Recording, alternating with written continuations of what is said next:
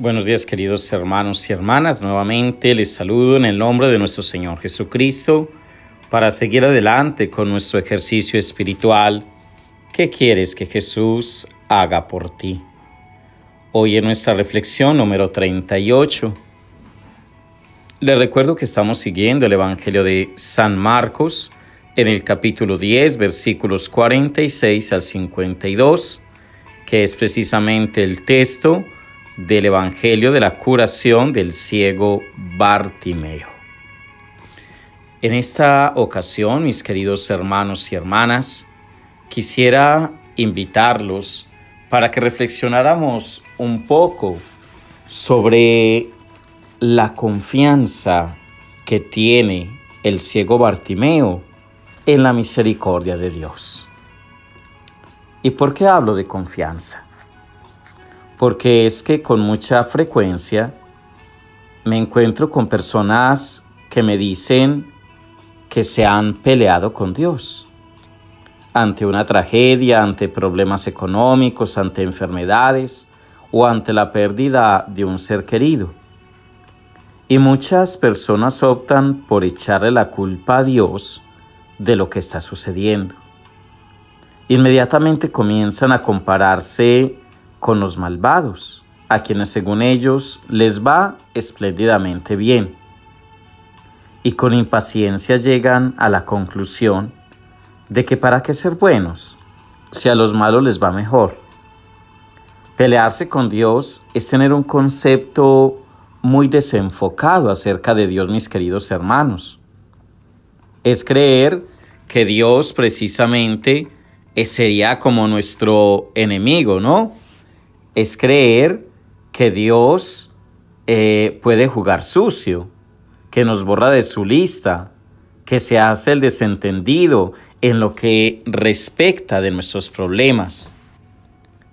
Pelearse con Dios es tener un concepto pagano incluso de lo que es Dios.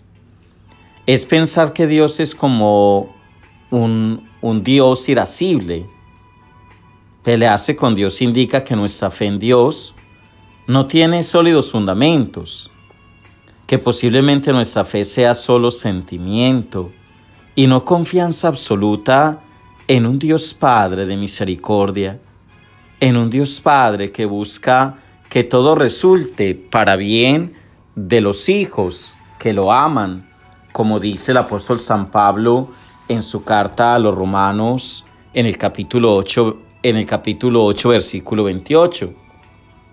Y este es el problema de muchos de nosotros, mis queridos hermanos. Es el problema de muchos líderes, de muchos eh, servidores de la iglesia. Me llama la atención porque es que Bartimeo confía. Bartimeo como que no tiene desconfianza, tiene confianza en la misericordia de Dios. Cuando aquellos eh, hombres llamaron a Bartimeo, él inmediatamente se levantó y fue donde Jesús. Confianza. Confianza en que lo estaba llamando para algo bueno. Confianza en aquel Jesús que le iba a regalar lo que él estaba pidiendo porque le estaba pidiendo a gritos, Señor, ten compasión de mí. No le estaba pidiendo siquiera eh, la, el recobro de la vista, no. Le estaba pidiendo que tuviera compasión. Y ya sabemos, Dios es misericordioso, es compasivo y es leal con cada uno de nosotros. Qué hermoso aprender de Bartimeo nuevamente esta cualidad, la confianza. Pregúntate a ti mismo, a ti misma, mi querido hermano y hermana, en este día, ¿cómo está la confianza en Dios? ¿Cómo está la confianza en esa misericordia infinita de Dios? ¿O te mantienes peleando por Él por cualquier cosita? Reflexiona en tu corazón acerca de esto. Imita a Bartimeo. Bartimeo dio un salto y se acercó a Jesús con confianza en la misericordia de Dios Y por eso Jesús, al ver, al ver la confianza de Bartimeo, le dice, anda, tu fe te ha salvado. Y al momento dice el texto bíblico que él recobró la vista. Esa es lo que nosotros recibimos si tenemos confianza en la misericordia de Dios. Reflexiona, querido hermano, querida hermana, en este día, en este nuestro retiro, en nuestro ejercicio espiritual. ¿Cómo está tu confianza en Dios? ¿Cómo está tu relación con Él? ¿Desconfías de la misericordia de Dios? Que tengas un bendecido día.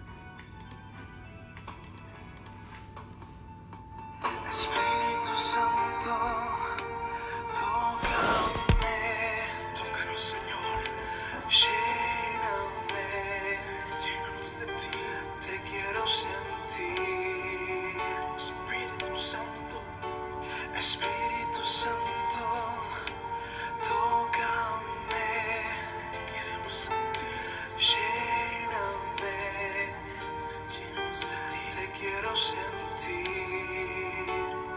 Úngenos, Espíritu Santo, úngeme, satúrame, satúrame, te quiero sentir,